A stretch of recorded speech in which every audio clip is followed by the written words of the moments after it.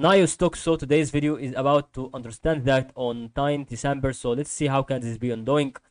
So all you have to do is just to understand that exactly and the tutorially about that what I can see. So my opinion about that, the increase in momentum will be exactly the side of the same thing that I couldn't realize before because it just to be exactly what I can think about. through the resistance and still has to be about to follow the support and still also to be about the follow the of the what it can have this because that I can see through my opinion about that okay.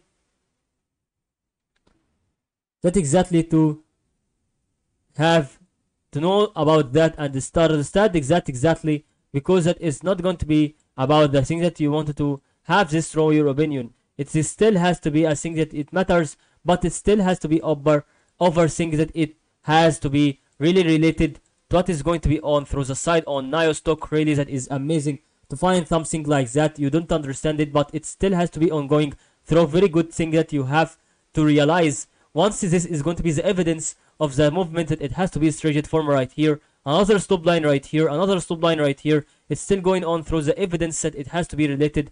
To what is about to show on the biggest way that it has to be helpful about it.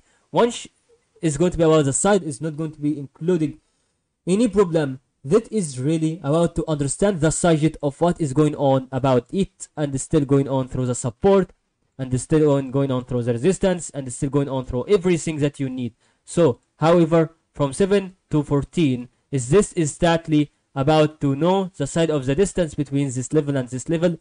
Because as I can say this is about not show the evidence on everything that is needed about Nio stock but it's still going on through the ways that it has to be helpful about the Nio stock really right now as soon as possible. And that is all to help you today's video. And